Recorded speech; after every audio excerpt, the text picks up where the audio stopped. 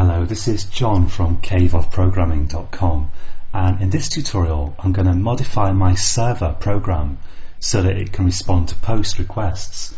So this isn't Android specific and your server program could be written in all kinds of possible technologies. It doesn't have to be Java, but just for the sake of completeness I'm going to show you how to create a simple servlet that can respond to post requests. And in fact, we've already got this servlet here that can respond to GET requests. And I'm just going to modify this one. And just repeat, if you do want more information about servlet programming, I've got this course um, here on udemy.com and you can find out more information if you go to www.caveofprogramming.com and you'll find links to all my courses there including this servlet programming course and you can look at the first few videos, first seven or so, completely for free if you want to get started with servlet programming. But let's assume that you, you um, can already create servlets. Then every servlet has, well, actually every servlet can have a do get method, like the one we've been working with previously, and a do post method. And if you send a post request to your servlet, then the do post will be invoked.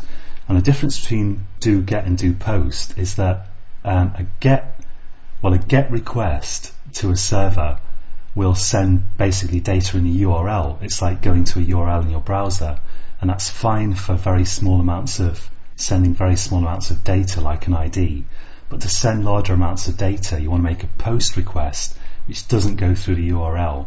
It um, somehow streams the data directly to the server.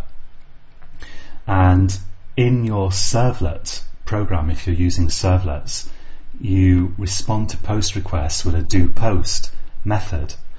So just to show you this working, I'm going to say I've got my do post method in my servlet here, and I'm just going to say print writer out equals response.get writer. And of course, this isn't anything directly to do with Android, and you could use a PHP script or something else instead. And I'll just say out.println, let's say something like hello from serve server so that we can see something happening.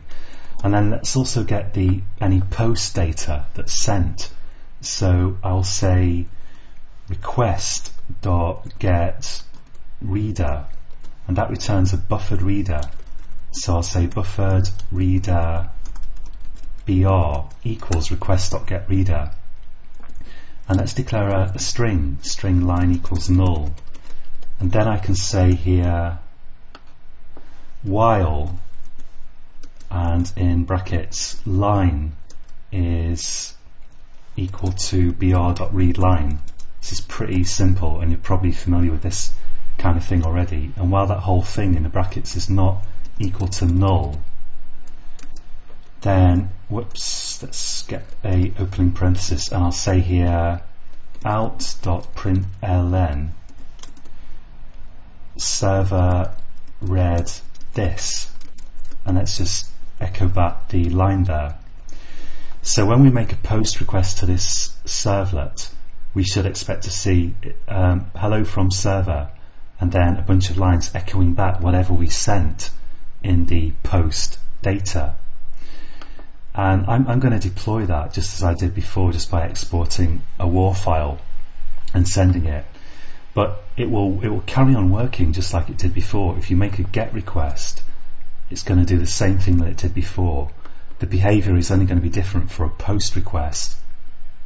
So that's enough for this tutorial. And in the next tutorial I'm going to create an Android program that sends some JSON data via a post to this server so join me again then, and until next time, happy coding.